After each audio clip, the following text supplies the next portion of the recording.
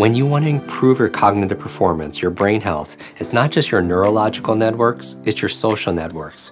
Who you spend time with is who you become, right? You have these mirror neurons. We're constantly imitating the people around us. We start developing the same habits of the people around us, the same behaviors, the same language and thoughts and thinking and standards and character, right? In 2018, there was a joint study done by New York University and Virginia Tech, and they found that 13 minutes of meditation over eight weeks not only enhanced mood, but also enhanced things like focus, concentration, and working memory.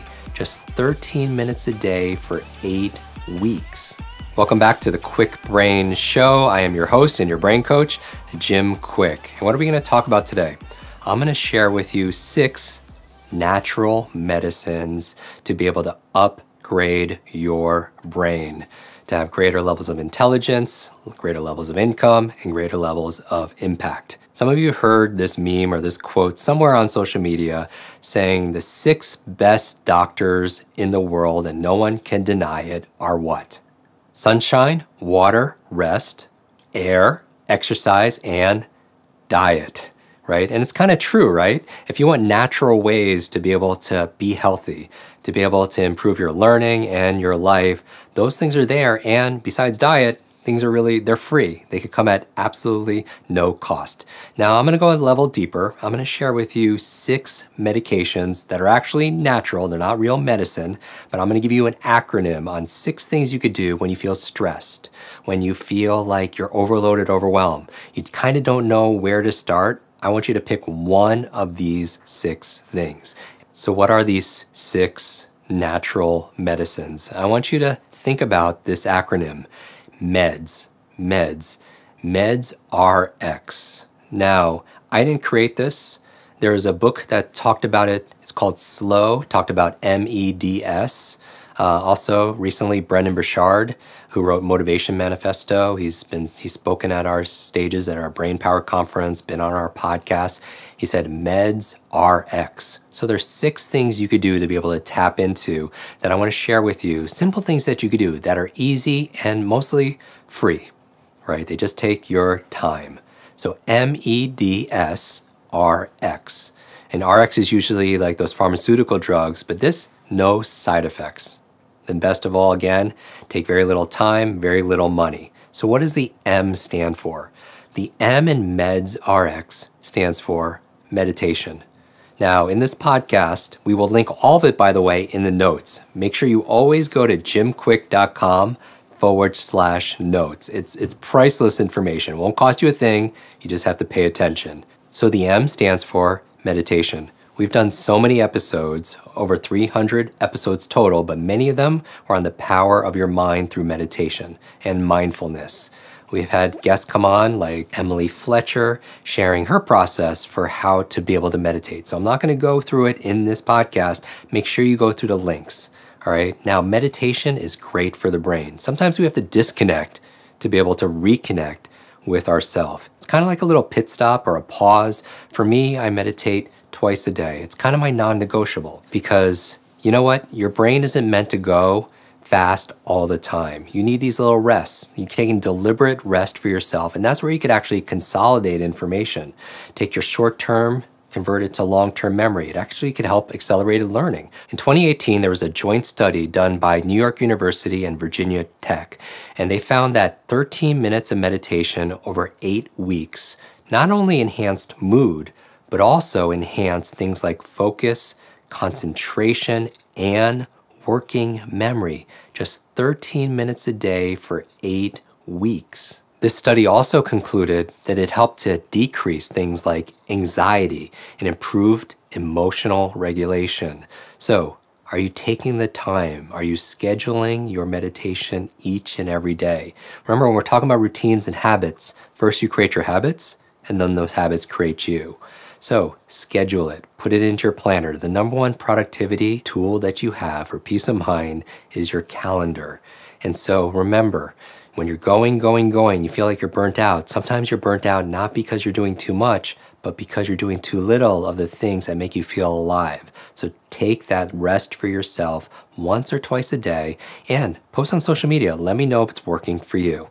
Now, the E in Meds RX stands for, you can probably guess, exercise. Now, we've done many episodes on our podcast about the power of what? Movement. We've had people like Shawn Stevenson talk about exercises for the brain. We've had episodes with Aaron Alexander, who wrote Alignment, talk about the power of movements and how to maximize your body for a better brain. So many episodes. Make sure you go to jimkwik.com forward slash notes. And there have been many studies on the power of exercise, probably more than any other area, that when you move your body, as your body moves, guess what? Your brain grooves. When you move your body, you create brain derived neurotrophic factors, fancy word, BDNF, which is like fertilizer for your brain. And we live in this very sedentary lifestyle. Many of us, me included, we sit behind a computer, we're behind a screen, and they say sitting is a new smoking. So are you taking time to move? There was a study done in 2015 at Cambridge University where they took participants they did a baseline in terms of cognitive ability and tests, and they had part of the group exercise. They did aerobic exercise in this case, and part of the group they watched videos of people exercising. And then they followed up, and those who actually exercised, there was enhanced activity in the prefrontal cortex, and this lasted for hours. So if you feel stuck throughout the day, right? If you're just studying and you're cramming information and you're at work, make sure you take those brain breaks. Take 5, 10, 15 minutes and go for a walk, right? Clear your mind, and move your body. We know that people, when they're listening to our podcast or our audiobook, or they're listening to something when they're doing something rhythmic, maybe they're on an elliptical, maybe you're going uh, walking the dog and you're listening, it actually help you to enhance your retention of the information and your comprehension. So move your body, exercise, and that's the E in Meds RX. Do you have too much to read, but too little time? Are your shelves full of books that you haven't read yet and become shelf help, not self help? And that's why I created the Kwik Reading course. 15 minutes a day, 21 days will absolutely transform your life. Just go to kwikbrain.com forward slash reading. Use the code podcast15 and you'll get instant access. Now, the D, you probably guess, right, is your diet, right? We talked about this in our programs. Uh, we did a whole chapter of it in uh, Limitless on neuronutrition. Your brain is an energy hog. It's only 2% of your body mass, but it requires 20% of the nutrients. And your brain actually requires different nutrients than the rest of your body.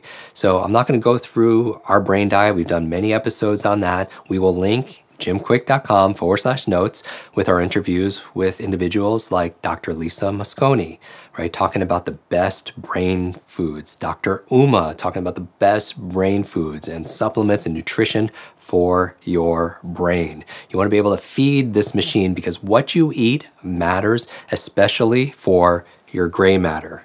My team just sent me this study in 2015. There was a study by Dr. Drew Ramsey. The Journal of Missouri State Medical Association discusses in detail the benefits of nutrients and brain health. Specifically, severe nutritional deficiencies in vitamin B12, B9, which is folate, and zinc can cause things like depression, low mood, fatigue, cognitive decline, and irritability. Eating food with high nutrition reduces inflammation, which is linked to higher rates of mental illness, increased risks of depression, mild cognitive impairment, and ADHD. So, bottom line, you can control your mood and your mind, even your memory, by the food that you decide to eat, because food is information right? And there's a lot of junk food out there. You want to reduce the processed food. You want to reduce the sugar because sugar is very detrimental to the human brain. We did an episode with Leanna Warner Gray talking about anxiety free foods, foods you could take to be able to reduce anxiety and reduce stress because chronic stress is shown to shrink the human brain. So make those wise decisions every single day because food is information. And there's no such thing as like junk food. There's junk and then there's real food. Eat that food. The S in Meds RX, you could probably guess it, is what? Sleep. And we've done multiple episodes, podcast episodes, on mastering your sleep. When you don't get a good night's sleep, how's your brain the next day? How's your mental energy? How's your memory? How's your ability to solve problems, make good decisions? Every function is impaired by lack of sleep.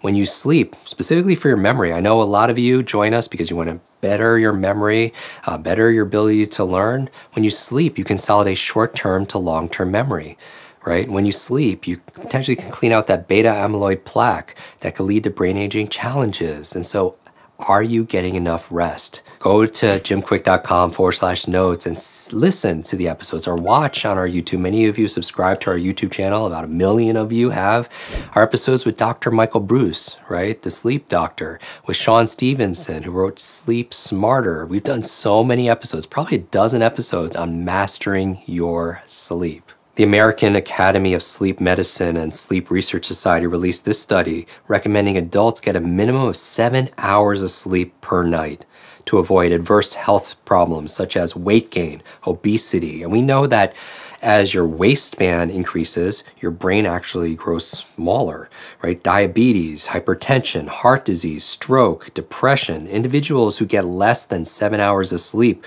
were shown to experience impaired immune function, increased pain, lower cognitive and physical performance, were prone to make more errors during the day, and had a greater risk for getting into accidents. So make sure you prioritize your sleep. We have in our podcast so many brain tips, you know, starting with get sunlight first thing in the morning, reset your circadian rhythm, right? Sleep in an environment that's more cool because the triggers to produce melatonin, which helps you to relax, there's a drop in two things. What are they? Uh, this is like me quick quizzing you, like this is your quick recall. Drop in temperature and some of you know, like you drop your temperature. I use a mattress topper to help reduce the temperature that actually could regulate the amount of temperature that you have. And also, what? Reduce in lighting. Sometimes our screens are keeping us awake because it's mimicking sunlight and it's not you're fooling your mind and thinking it's still daylight. So you want to sleep in a dark environment ideally of these blackout curtains some people use an eye mask but remember temperature and light. And if you want more read limitless listen to our podcast we have all the links at jimkwik.com forward slash notes. But make sure you prioritize your sleep. You have an alarm to wake up, have an alarm to go to sleep. Your brain loves consistency. Now, the RX part I got from our friend Brendon Burchard again. The R stands for relationships. We've done many episodes that it, when you want to improve your cognitive performance, your brain health, it's not just your neurological networks, it's your social networks who you spend time with is who you become, right? You have these mirror neurons. We're constantly imitating the people around us. We start developing the same habits of the people around us, the same behaviors, the same language and thoughts and thinking and standards and character, right? So you want to make sure you build your positive peer group. We all need people to cheerlead for us. We all need people to pat us on the back, to encourage us, to challenge us, to be kind to us. How we say, if you haven't found that person yet, be that person for somebody else. Especially be that person for who? Be that person for yourself, right? And we've done many episodes on the power of belonging. Uh, with Mickey, we did many episodes on the power of connection, and the, and we even had uh, Dr. Waldinger on the show. He talked about that study. It's an 84 year old study, the longest one on happiness at a Harvard University, and the power of being healthy and happy. The number one contributor. It wasn't diet and it wasn't exercise, it was the people around you. Because who we spend time with is who we become. So if you haven't listened to those episodes, make sure you go to jimkwik.com forward slash notes. I know I'm repeating myself because repetition is the mother of memory, right? Go and listen, do a deep dive, favorite it, follow it, right? Subscribe to it so you don't miss it. Because if you miss one of these episodes, you could tell you miss a lot, right? So really be conscious of the people you have around you. If you're around energy vampires and they're taking your energy away and you wonder why you're not motivated, why, why, why maybe we're shrinking our level of growth. And people around us, they could care about us because maybe they're like, why you listening to podcasts all the time? Why are you going to those events and reading those books?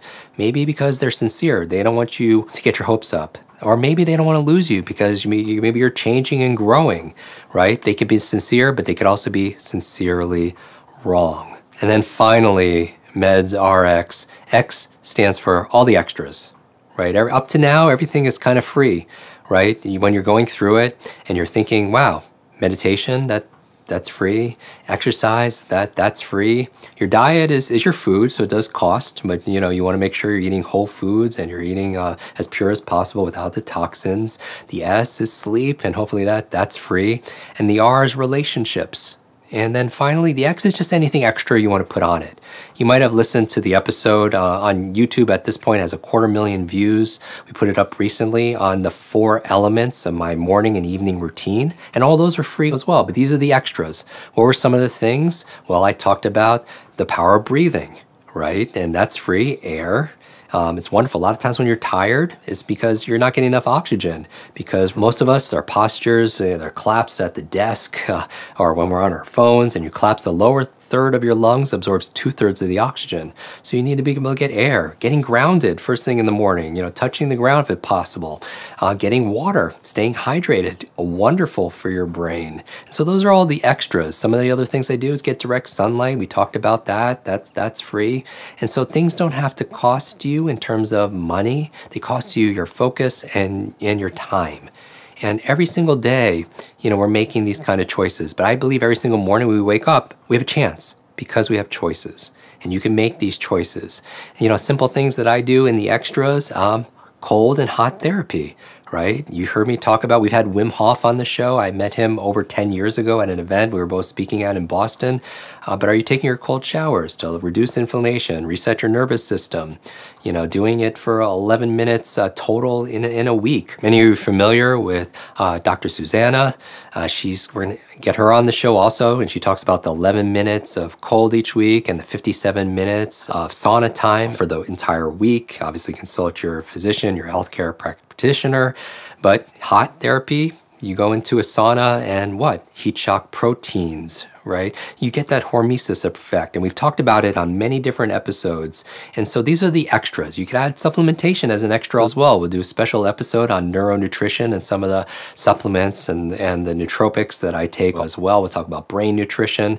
But these are the extras above and beyond. And here's the thing remember, you don't have to do everything. You want to make small incremental progress because little by little, a little becomes a lot. So again, meds, RX, follow this. Six things that you could do. They're natural. You don't get need a doctor's prescription to do these things. There are zero probably side effects. The side effects probably are positive for you as well.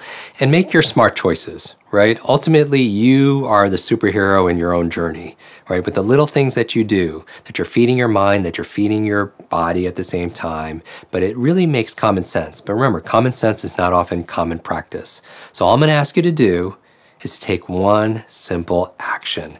What's one thing you could do out of this six to make a positive difference? Remember that question we talked to Dr. Daniel Amen who wrote Change Your Brain, Change Your Life? He says, Is this good for my brain or is this bad for my brain? Because those little choices add up to big choices that become habits that become our life. I want to thank you so much for listening to this episode. If you got value out of it, make sure you share it. Share it with your family, share it with your friends, leave a review. I, we read every single review. It's our team starts out every single day by reading the feedback that you give us. So I want to thank you on this journey with us. I think there's a version of yourself that's patiently waiting. How do we meet them? We show up every single day until we're introduced. I'm your brain coach, your host of the Kwik Brain podcast. I'll see you in our next episode. Until then, be limitless.